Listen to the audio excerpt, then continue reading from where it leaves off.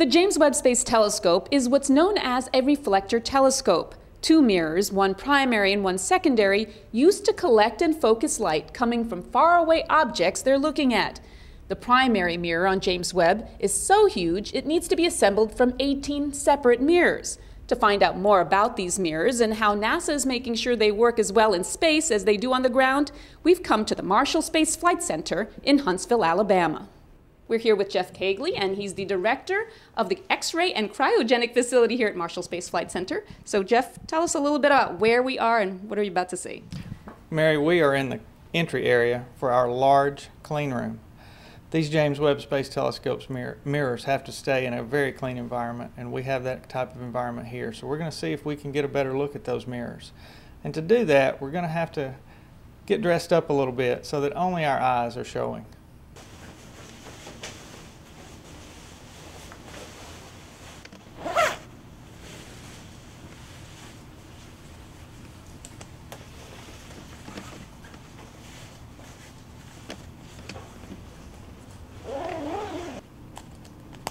We're just about to pull the entire test stand assembly into the vacuum chamber with the three James Webb mirrors aboard.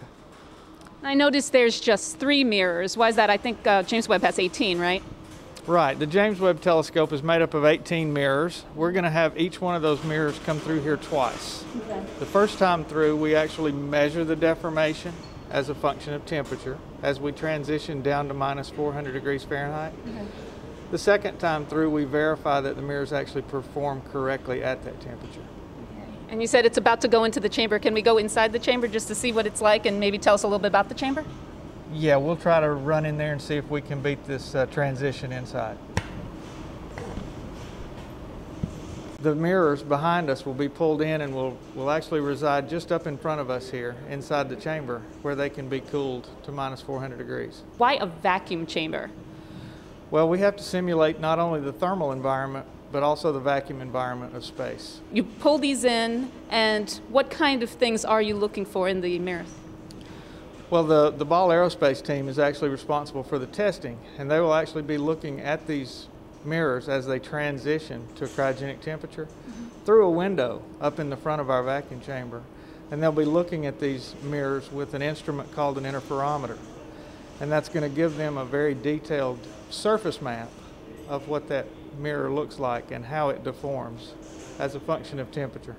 And my last question is, why is it so important to be so precise with these mirrors?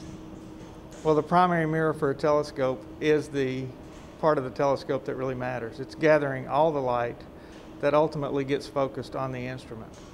And the larger and the, the better the mirrors are, the better the telescope is.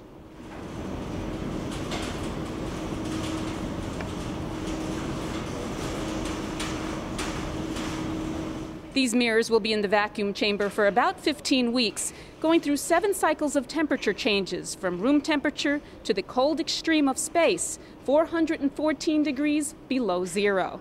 Thanks again for joining us behind the Webb.